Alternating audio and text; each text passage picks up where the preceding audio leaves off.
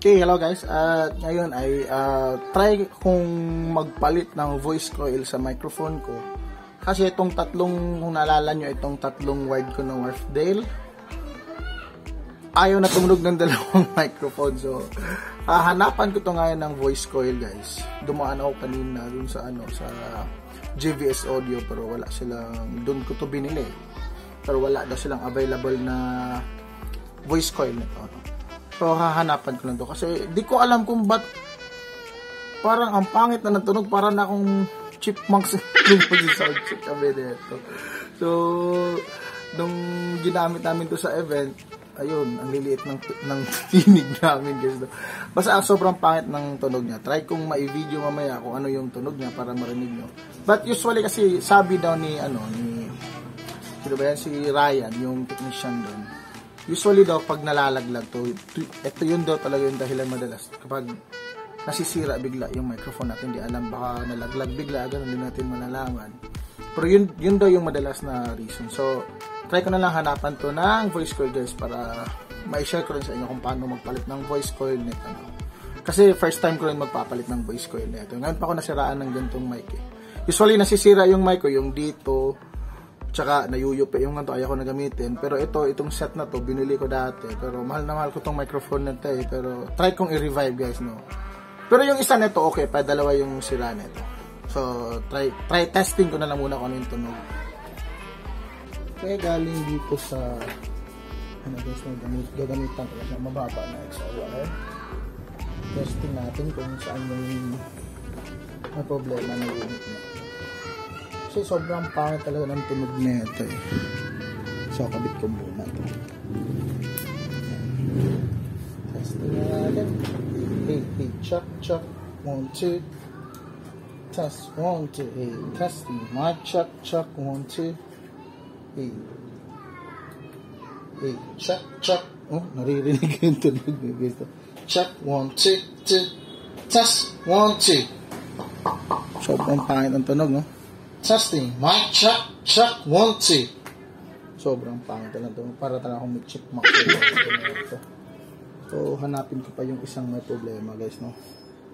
Kasi, pero sa tingin ko, mukhang itong dulo yung okay. So, eto, testing ko. Tingin ko okay yung isa. Eh. Testing pa lang to. Hey, check, check. One, two, hey, check. Oh, ganun yung tunog niya. Ayaw niyang tumunog na pag, pag, pag yan. Parang tinatouch ko yung ano niya sa my screen, windscreen niya. Ganun yung tunog niya. Hey, check, check. Oh, ayaw tumunog niya sa boses ko. So, ito yata yung pangalawang may problema. So, testing ko na rin ito. Itong panghuli ko na microphone. Tingin ko ito yung ano eh, walang problema ko na yun. Kasi mat, halos hindi na namin nagagamit ito guys eh. Nung last time lang na ginamit namin, ayun talaga tumunog. Okay, check, check, one, two, test, one, two.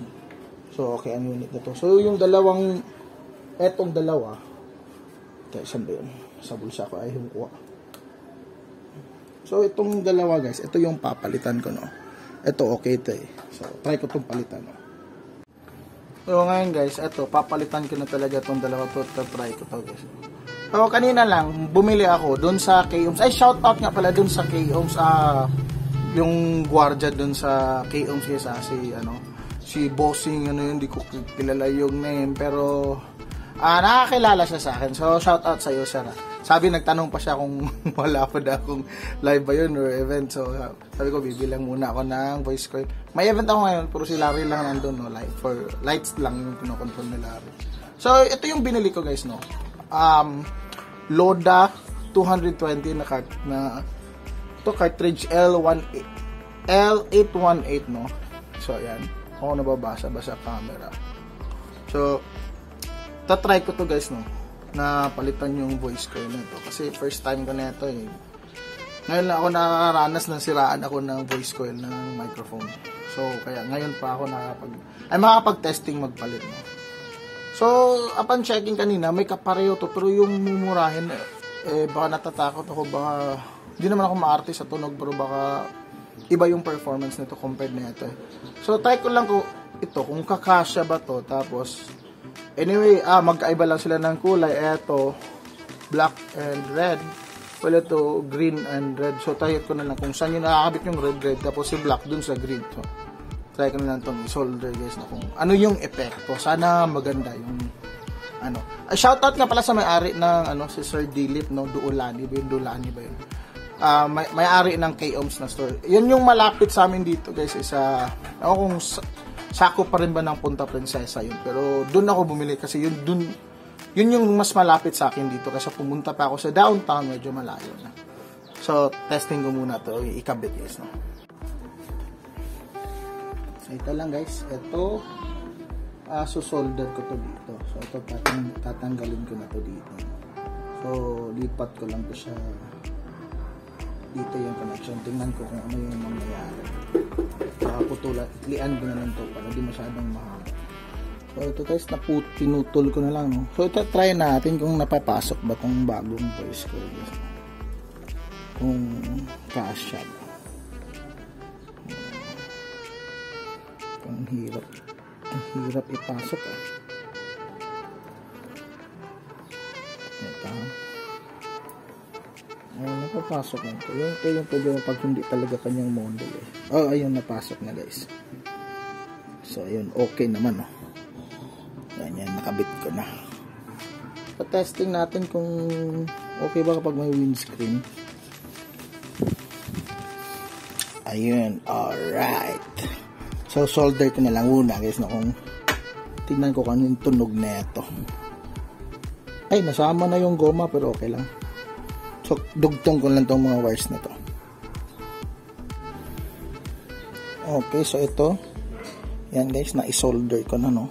So, lagyan ko na lang muna ng tape ko dito para hindi siya mag-short no.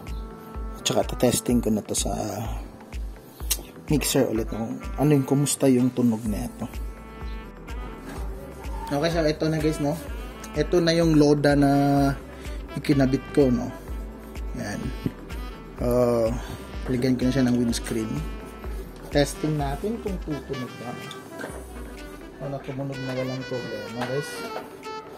Asan ba yun? kabit natin. Sana okay lang yung tunog na ito. Hindi naman ako maarte sa tunog guys eh. Importante sa akin tumunog lang na maayos, okay na ako. So on na ito. On. Hey, hey, hey, hey. Check, check. So tumunog siya guys no. Hey, mic check, one, two, testing, mic check, check, check, one, two. Lagyan nga natin ng effects. Okay naman yung tunog guys no. Check, one, two. Hey, testing, mic check, testing. Check, one, two. Hey, testing. So yun na yung importante sa akin guys. Basta tumunog lang siya gumana. So okay na okay ito guys. Testing. Mic check. One, two. So okay na okay para no.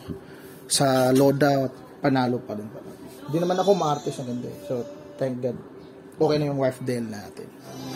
Testing. Mic check. Check. One, two.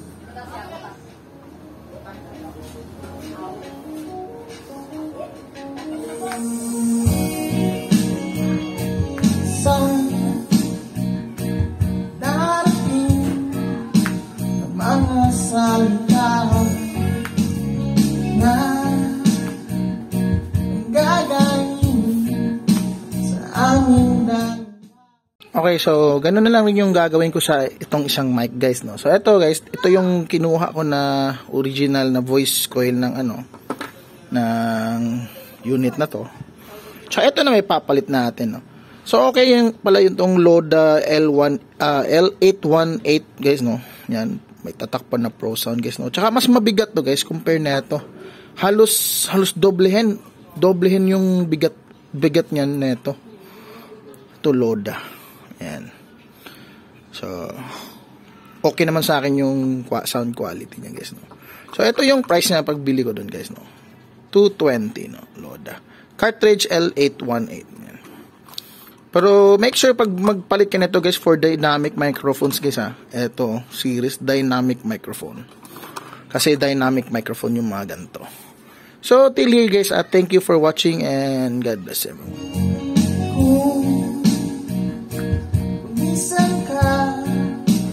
Huwag naman sana